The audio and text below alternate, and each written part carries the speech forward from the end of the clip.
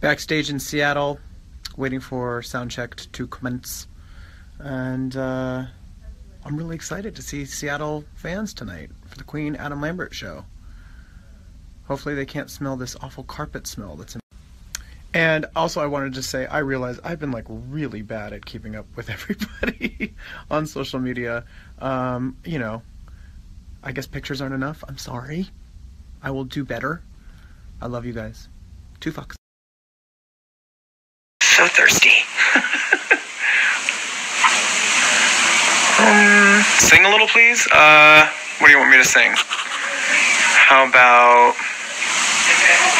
If you think that what I do and how I live's too much, I don't really, really give two fucks.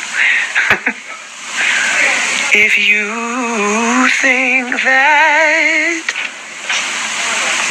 what I say and what I give ain't love, I don't really, really give two fucks.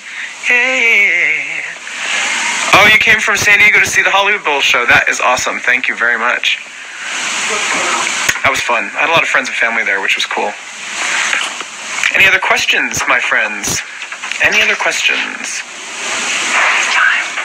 Oh, it is time for me to go, apparently. Uh, I am being called to soundcheck. I'll try to do a little bit of a an update from soundcheck, okay? Bye, guys. Love you. And for anybody that's here in Seattle, I will see you on stage. Bye. Bye, guys. Love you. How the hell do you end this thing?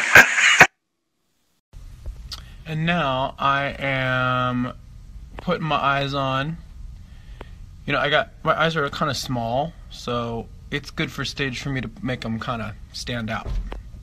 I don't know. I'm forever a theater kid, I guess.